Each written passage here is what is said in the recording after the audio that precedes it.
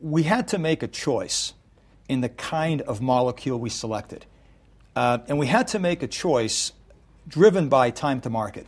And we kind of stood back and said, you know, if time to market's really important, trying to prove to the world that we're developing a molecule that's going to redefine what diesel is is probably going to be a pretty hard road that's going to add two to three years in certification. Mm-hmm. So we decided actually to go a very different way.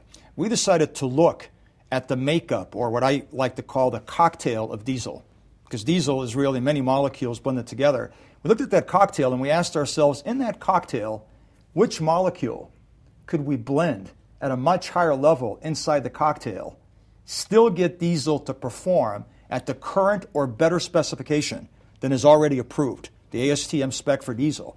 Uh, and based on that, could we get to market faster? And that's exactly what we did. So our molecule is a blend in current petroleum diesel.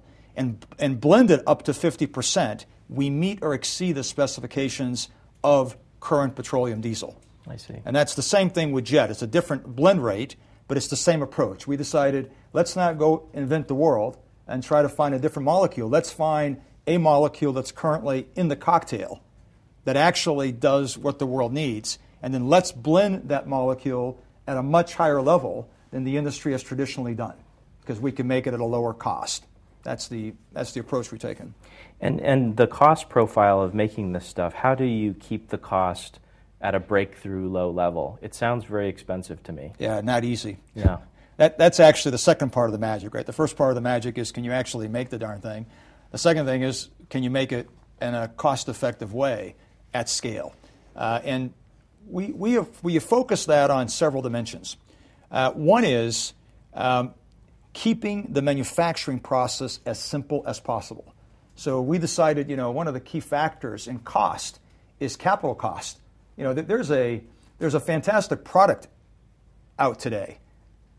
There's two issues uh, it, it's not very good for the environment and it's very costly to produce. And that's what I'll call the coal to liquids method of making either diesel or jet. You get a great molecule, uh, it's a fantastic product, but it costs you know two to three billion dollars to build a basic plant, uh, and uh, you know you don't produce a lot when you spend two to three billion dollars, and you have an issue with uh, carbon sequestration and what you do with CO2 for the environment.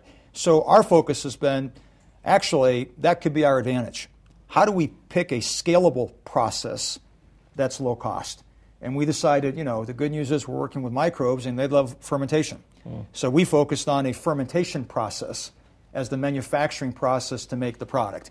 And by doing that, uh, you know, we also decided we wanted to make our scale up uh, what I like to call capital light. So instead of uh, building a complete new infrastructure for manufacturing our product, we decided let's go where there's uh, available capacity in fermentation today. Let's convert that fermentation capacity from doing whatever it does today to making diesel from a scalable feedstock.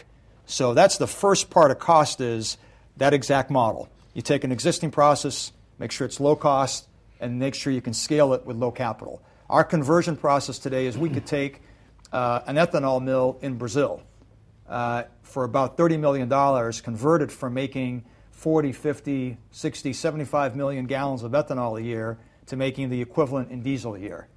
And that's a pretty breakthrough model for how you go to market with our technology. We didn't say, let's start from scratch, let's start with what's out there, let's find a low cost conversion, and let's get that plant to make our product. The second, uh, and, and uh, I think as hard part of cost, is getting the microbes to be super efficient. Mm. Right? If you think about where we are today, and I'll actually go back even further, uh, artemisinin, uh, about nine months ago, uh, and we even say it differently, artemisinin's cost target is about $3,000 a barrel of oil cost equivalent. Now, I don't know about you. I mean, I, am not happy with the fact we are at 134 today. So we went up about $4 today, $4.67 a barrel, I think. So a pretty big increase in uh, price of oil today. Yet it's still far off from the $3,000 a barrel cost equivalent that artemisinin is actually cost competitive at. Uh, in the last nine months, we've moved our microbe from a $3,000 a barrel of oil equivalent producer to our best, our best strain today is at about $175 to 200 dollars a barrel. Hmm.